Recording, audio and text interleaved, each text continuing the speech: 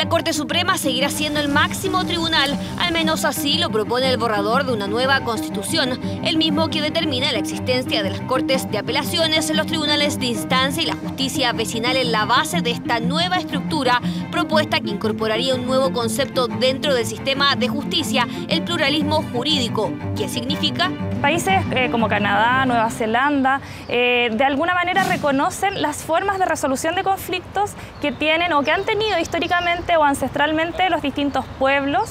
Es la ley quien establecerá las reglas de competencia en torno a su funcionamiento, porque por cierto no va a conocer todas las materias que nosotros creemos que va a conocer. Reconocimiento de la Constitución de la resolución de conflictos en una justicia que los propios convencionales definen como una mediación entre los miembros de una comunidad, pluralismo en igualdad con el sistema de justicia donde la última instancia sigue siendo la Corte Suprema. La Corte Suprema tendrá la última palabra en la aplicación del derecho por esta justicia indígena derecho que recordemos no está escrito.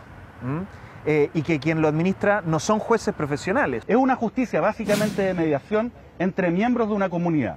Ahora, en la propuesta que nosotros estamos haciendo, todo esto confluye en un sistema unificado, el cual va a ser resuelto finalmente siempre por la Corte Suprema.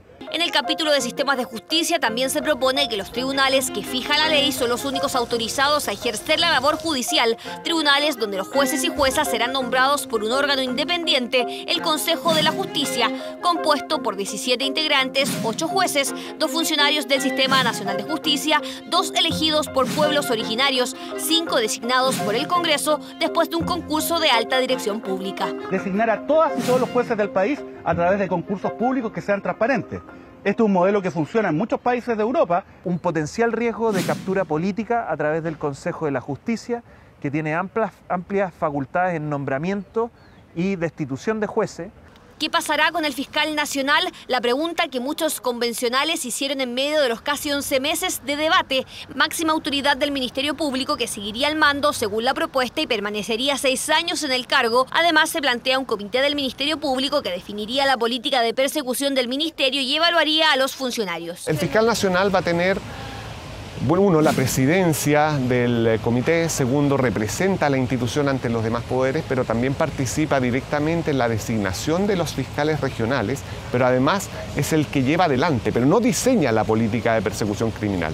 En el Sistema Nacional de Justicia propuesto se tiene que garantizar la perspectiva de género y de derechos humanos sin discriminación, todos aspectos que fueron parte de un intenso debate que traspasó las barreras de la propia convención porque propone profundos cambios al modelo de justicia, uno que es fundamental en toda democracia.